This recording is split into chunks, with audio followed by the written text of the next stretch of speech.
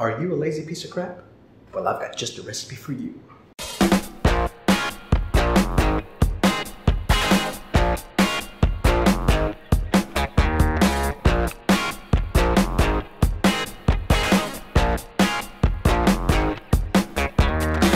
What makes this recipe amazing? You only need soy sauce, honey, and short ribs. Cornstarch is optional, but um, who cares? I mean, if you're too lazy to start cooking a huge meal, so simple. I'll show you guys right now. Are you seeing what I'm seeing? Beautiful, fatty, sticky, delicious marbled short ribs? Yes, you are. Yes, you are. We're gonna make them. They're gonna be sweet, soy saucy, amazing. Let's get to it. So set your oven on broil so it can preheat for about 20 minutes, half an hour at 160 degrees, which is 320 degrees Fahrenheit, and add just a bit of oil to a pot or a tray that can go into the oven, like a Dutch oven or a roasting tray, like I have here.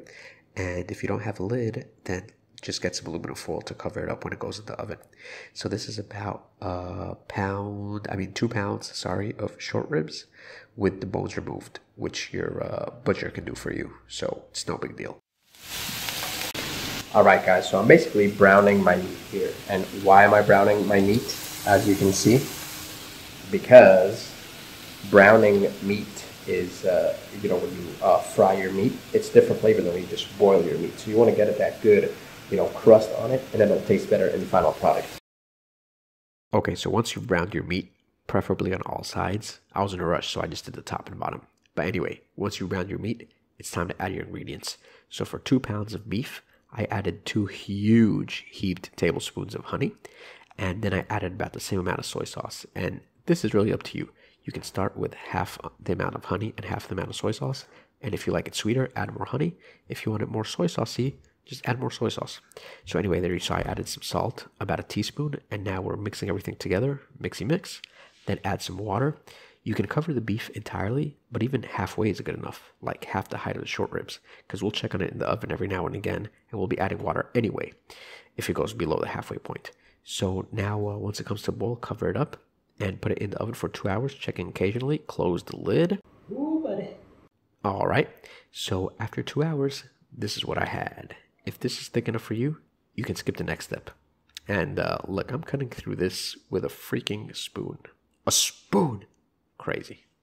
So here I'm just going to thicken up the sauce with about a tablespoon of cornstarch, which I'll dissolve in water. But by the way, I just want to mention here that after the two hours in the oven, the sauce might be very intense. So if you want to lighten it up a bit, just add some more honey and soy sauce and mix it well. Anyway, so uh, mix the cornstarch with your fingers and then pour it into the sauce over low heat and give it a good mix for a few minutes till it thickens up. It won't lighten up the color too much, don't worry. You'll still have that amazing deep brown color when you mix it up.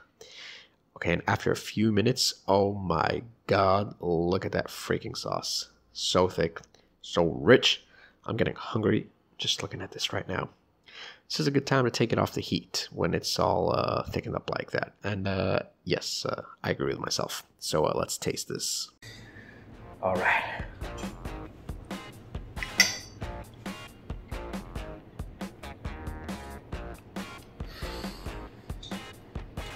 I need a minute. Speechless. No words to describe this thing. Listen, you guys need to make this and you need to make it now. And uh, that's basically it. Uh, comment if you want other recipes of uh, things that I can show you. Very easy stuff. And that's it. Bye bye now. Bye. Bye.